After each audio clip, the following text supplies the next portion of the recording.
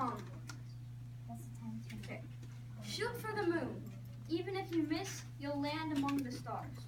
This is by an unknown author and is one of my favorite quotes. Space exploration has always been important to humankind because humankind has also always been creative and curious.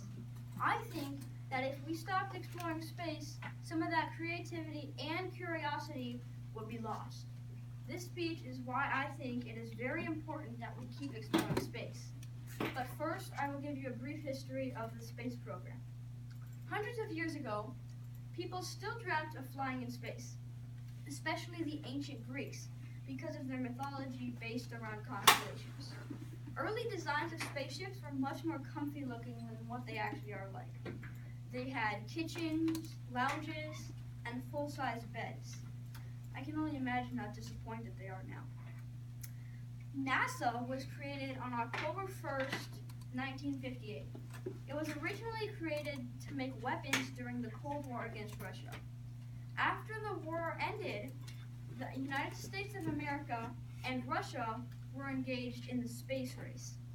This was the race to get the first person on the moon. Russia got a head start by launching the first satellite into orbit, and that the satellite was called Sputnik. That it launched in 1957, before NASA even existed. And then they also were ahead when they got the first human in space with Yuri Gagarin's launch in 1957. I mean, in 1961. But America pulled ahead and won the space race when Apollo 11 successfully landed on the moon in 1969. Because of this, space exploration started to be an area of interest. I will now state six reasons why I think space exploration should continue. The first reason I want to talk about is education. The Teachers in Space program was announced in 1984. It was a program to help to help kids to inspire help inspire kids to become scientists and mathematicians by sending teachers into space to make educational videos. The first participant was Christa McAuliffe, who unfortunately died on, on the Challenger accident in 1986. After this, the program was canceled. But in 1988, NASA created the Educator Astronaut Program instead. The difference being that this required the, the teachers to become mission specialists. First participant of this was Barbara Morgan, the backup for Christa McAuliffe. Although this program doesn't exist anymore, astronauts still use their publicity to try to inspire kids. Resources. According to planetsave.com, the universe probably has unlimited resources. But the same cannot be said about Earth.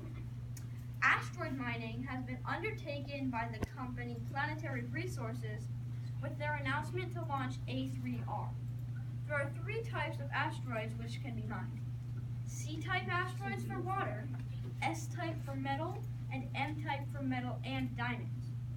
Astronomy. Astronomy is basically the study of space. Most of the famous astronomers that you may have heard of have never been to space. But I think if they did go to space, there could be some very important discoveries. Astronomy is also one of the oldest sciences. Um, but due to recent-ish technological developments like the Hubble telescope, which was launched in 1990, we have been able to make some cool discoveries. Technology.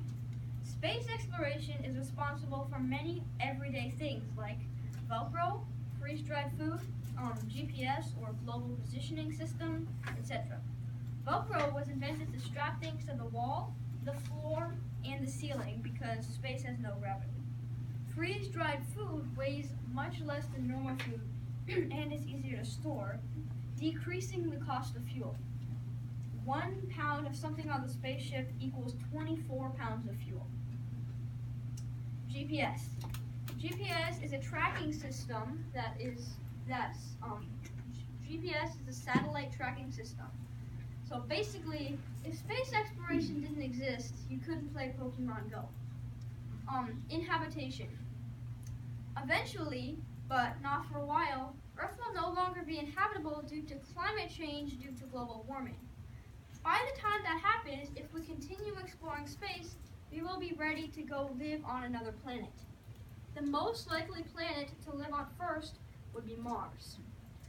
Because it has good soil, um, the atmosphere is thin, but it does protect from sun radiation. Um, you can use solar panels there, and the days are a similar length to Earth days. Fun. Space is also just fun when you once you get past the risks. Since there is no gravity in space, you can do infinite backflips and front flips. You can also make water bubbles and drink out of the air with a straw.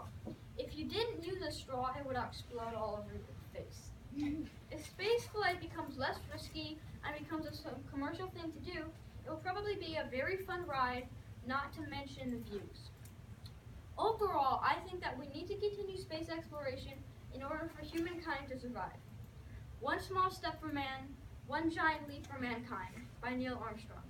Neil Armstrong actually meant to say something like, One small step for me, one giant leap for the human race. Even though he said it wrong, it still became famous.